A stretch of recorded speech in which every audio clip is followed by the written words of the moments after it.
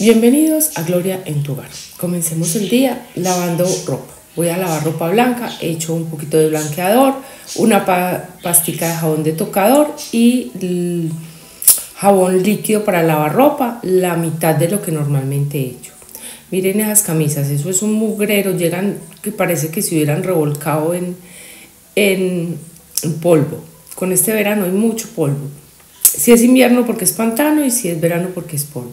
Entonces, miren, prendo, escojo el tipo de ropa o el tipo de enjuague, si es normal, si es muy pesado, la cantidad de agua, la lavadora lo sabe hacer, pero yo más o menos ya sé, y los minutos de lavar.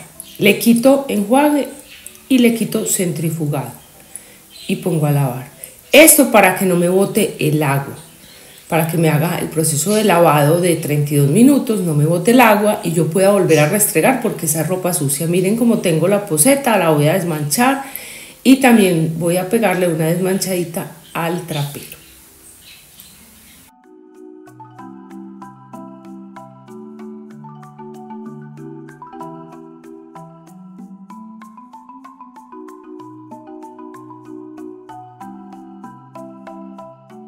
Yo el trapero lo desmancho con jabón de baño o jabón de tocador, como ustedes le digan. También lo puedo hacer con jabón azul, pero eh, ese lo hago con un proceso distinto que nunca les he mostrado. Después se los muestro. Eh, el mismo proceso que uso con la ropa, utilizando el sol. Pero bueno, otro día se los muestro. Aquí simplemente el, el jabón de tocador, como con el que uno se ducha, del más barato lo restrego, la voy a dejar enjabonada, no lo voy a enjuagar, porque después tengo que limpiar una zona allí donde se me regó algo, entonces ese jaboncito me va a servir.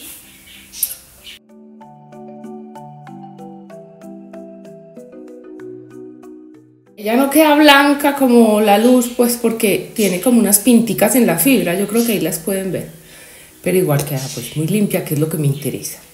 O sea, me encanta que se vea blanca, pero más que esté limpia. Ahora vamos con la poseta. Voy a mezclar un poquito de eh, blanqueador con ajas en polvo. Blanqueador, límpido, lejía, no sé, como cada una le llama. Miren que no agregue agua y ya con una esponjita se lo aplico a todo el lavadero como en toquecitos porque no necesito que se como que desaparezca sino que se quede ahí haciendo su proceso de blanqueado. Esto si lo hacen en la noche mejor, porque se levantan y encuentran la poseta o el lavadero limpio. Se lo, dejan ahí actuando. Yo lo voy a dejar unas cuantas horas. Ahorita les muestro cómo va trabajando.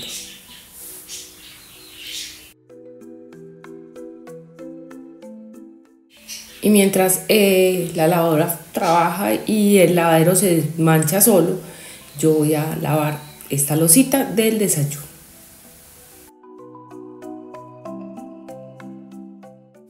Me preguntaba una de ustedes que si siempre seguía un orden para lavar los platos. Cuando es mucho, sí. Cuando hay una reunión o cuando eh, el almuerzo de los sábados, que es mejor dicho ensucio hasta a lo que no hay, sí. Ahí sí trato de, de los cubiertos primero, o los vasos primero, después los cubiertos, después los platos, bueno, les pongo un orden. Y la otra ocasión es cuando hago pescado o comidas que son muy fuertes, que son muy olorosas, sí me aseguro de que primero sean los vasos, ese tipo de cosas. Pero de resto no, o sea, para lavar los platos del de ayuno no estoy pendiente de si la cuchara, si me enloquezco. No, no, no, psicorrígida, no.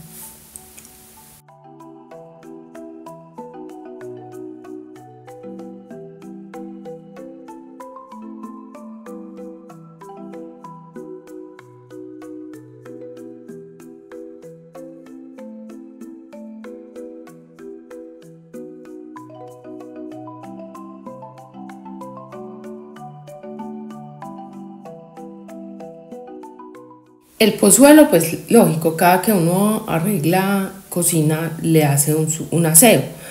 Pero así profundo, solo una vez al día, normalmente en la noche.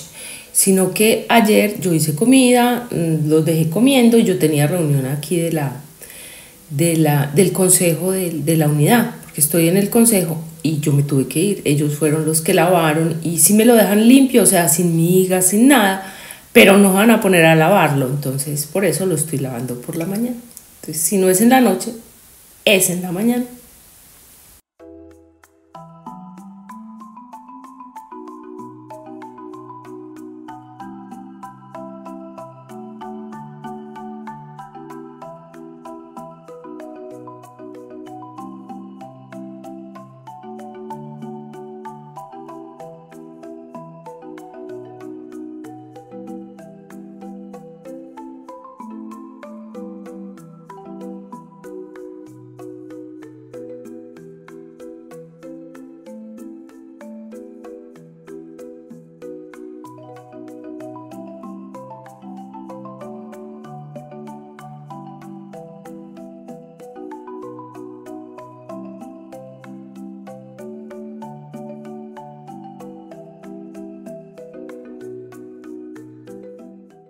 Tengo un video donde les enseño a todo sobre los guantes, cómo los desinfecto, dónde los guardo, de qué marca compro, cuáles son los mejores, cuáles uso para la casa, cuáles para adentro, no sé.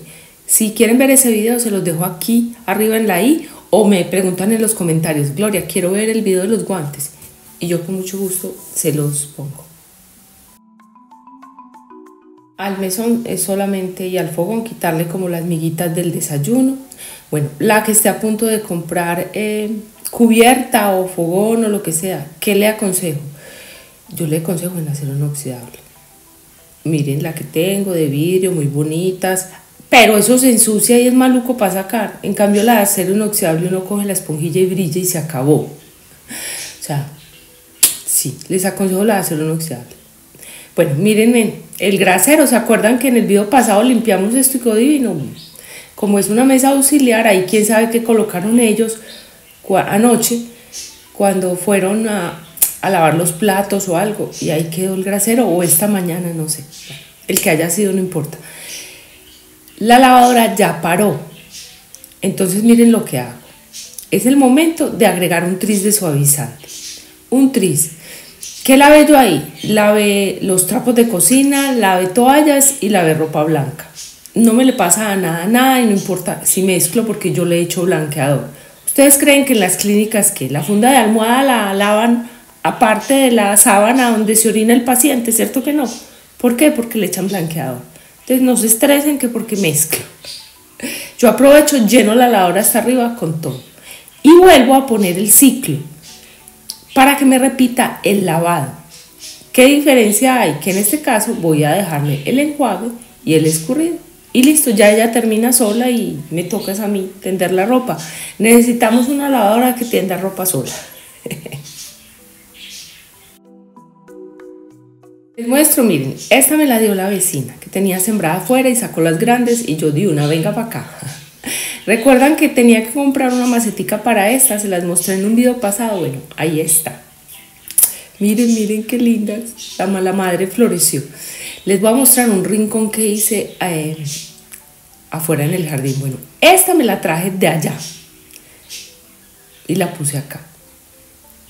Esta también me la traje de atrás, como por cambiar ahí que se vea un poquito distinto.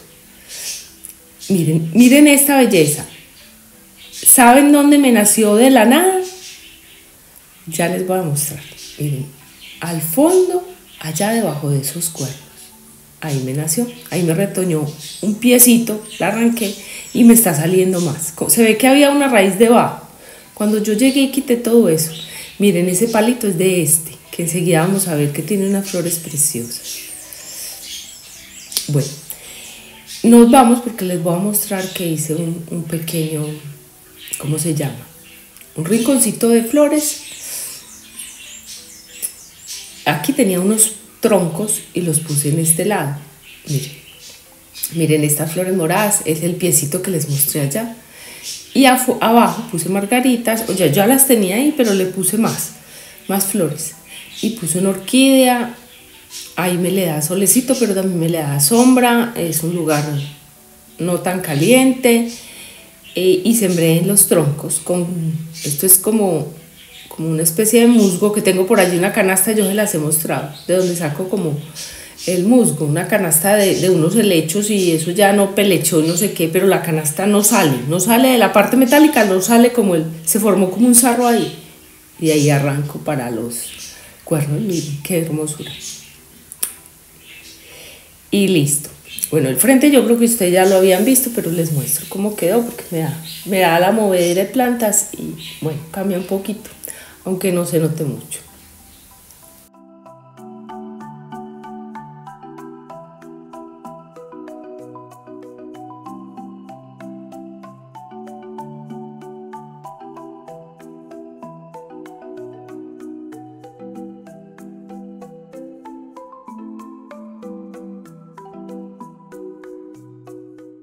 Una delicia estar afuera, pero no se puede. Vamos a limpiar el comedor, que está lleno de, de miguitas y está suciecito. Ellos ayer recogieron, la, arreglaron cocina y no me limpiaron mesa. Acá se nota. Ahí mismo siente uno con el trapito como el pegote. Así no lo vea, uno lo siente cuando pasa el trapito. Aprovechemos y voy a hacer unos pequeños cambios en este sectorcito de mi sala.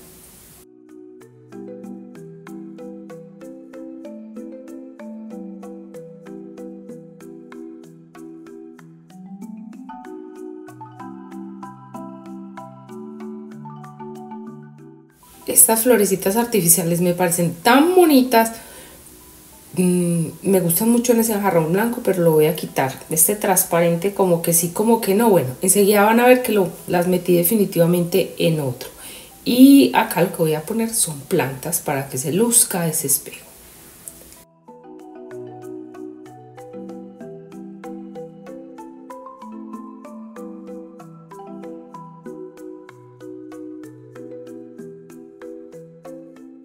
Vámonos hacia la ventana. Ahí voy a, darle una sacudita a la ventana. Hay que sacudirla por ahí dos o tres veces a la semana porque tienen una particularidad. Bueno, aquí hay mucho insecto, mucha avispita, mucha abejita.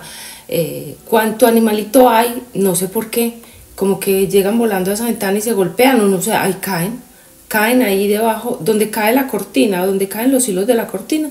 Ahí siempre encuentra uno, en vez de mugre y polvo, una mano de, insectos, chiquiticos, chiquiticos, diminutos que uno, si no me pongo las gafas no los veo.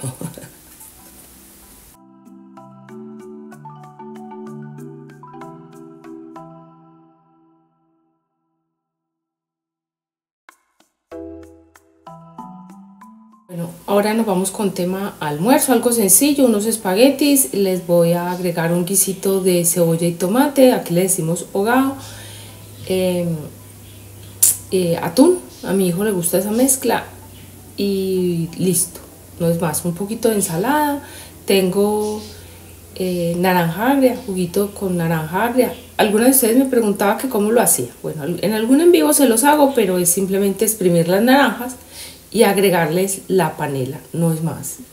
Panela en polvo, revolver y ya está lista. Y agua, pues lógicamente. Ensalada muy simple, zanahoria, pepino, porque ya tomate tienen los, los espaguetes, entonces como que no, no es más. Para guardar el pepino, después de que lo corto, lo envuelvo en papel de aluminio, después en papel absorbente y luego en una bolsita y listo, les queda fresco en la nevera por muchos días. Y aprovecho siempre para ver los videos de mis amiguitas. Ahí estoy viendo a Olguita. Olga Cardona, ella es seguidora del canal y yo del de ella, pues lógicamente. Y ustedes muchas la ven, para que pasen y la vean. Creo que este es el último video que sacó, sí. Los espaguetis los pongo a hervir con agua y un poquito de sal. El aceite se lo agrego en este instante. Eso hace que no se me apelmacen, que no me queden como chicludos, como, bueno, no sé. Ustedes me entienden. Incluso me quedó, de estos espaguetis me quedó algo para por la noche para él.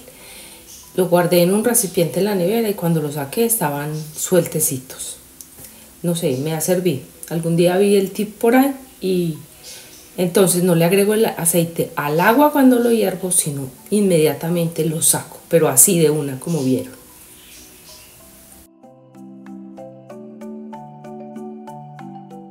Orégano que no nos falte para los espaguetis porque nos parece que le da un sabor muy rico. Huelen rico y, listo, ya es simplemente emplatar y servir.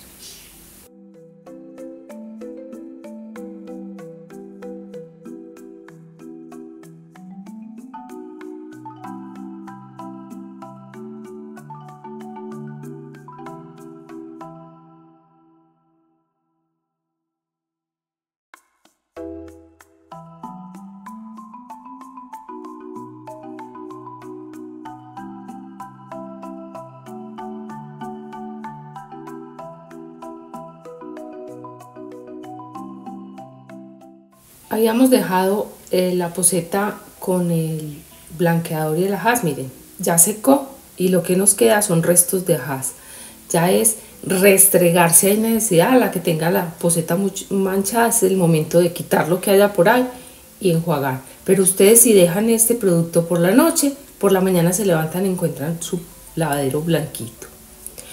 Listo, unas imágenes de cómo nos quedó el salón comedor. Y ya esto es todo por hoy. Espero les haya gustado, me regalen un like, se suscriban, miren el otro contenido del canal y no olviden que esto es Gloria en tu hogar. Un beso, chao.